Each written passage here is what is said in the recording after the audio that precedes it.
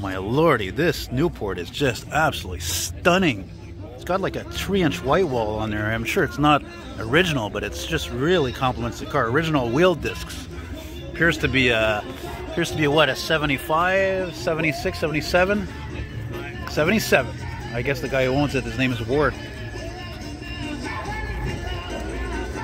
Amazing. I'm here in Carleton Place, which is uh, southwest of Ottawa. Oh my God, there's a Studebaker champ there. Holy mackerel. And I'm in the middle of October at a car show. This is a first for me. It's unreal. It's like I'm in Florida or something. What do we got here? A 400? Uh, oh, it's a lean burn. Oh boy, a lean burn motor. Mmm. These were uh, kind of a gimmicky thing to for cars. Stupid. Yeah, yeah.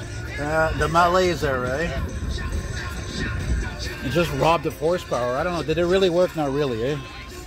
Look at the stickers here. Man, this car's like new. I don't think there's any mileage on this car, honestly. Look at the vinyl roof here.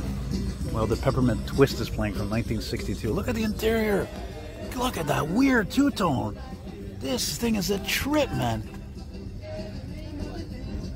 Oh, man, I wouldn't be surprised if there was only like, honestly, it looks like this thing has like 13,000 freaking kilometers on it. Look, it's not even a Brougham. It's just a new. It's not a New Yorker. It's a base model Newport. Oh man.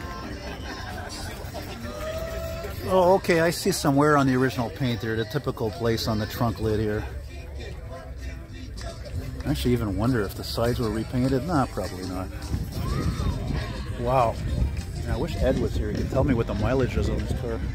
Whatever it is, I'm sure it's authentic. Why is this Mercedes parked here? Beautiful. Man, oh man, am I glad to be here, man. It's always refreshing to go to a place you've never been before and look at cars you've never seen before, more importantly.